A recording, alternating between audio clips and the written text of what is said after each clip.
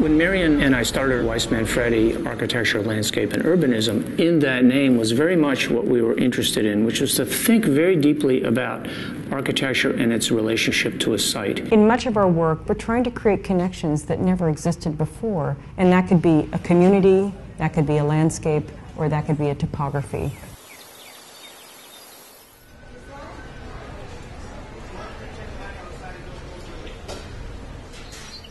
The biggest challenge to Seattle was that from the city to the water, there's a 40 foot change of grade. However, that site's been divided not only once, but twice. First by the highway, and the second by the rail lines. And our first question was how are we possibly going to find connections and still keep the magic of those disconnections? Could we think of it as one continuous park that wanders from the city to the water's edge and ultimately create an invented landform while simultaneously allowing all that infrastructure to exist?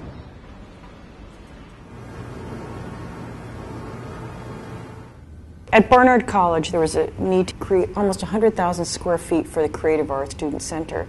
So, what happens? One floor after another starts to create social segregation. What if, instead of just stacking everything up art, architecture, dance, theater if they get pulled apart and seen across and through each other, all of a sudden the whole is greater than the sum of the parts. So parts of the building are more transparent to reveal the organization of the building.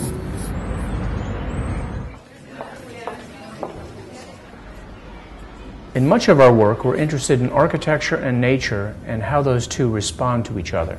So at the Brooklyn Botanic Garden, we created a project that was overtly architectural.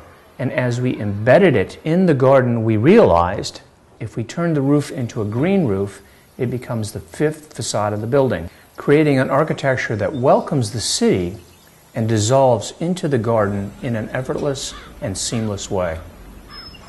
Rabbits, birds, insects anything you wouldn't want in a building is thriving on the building.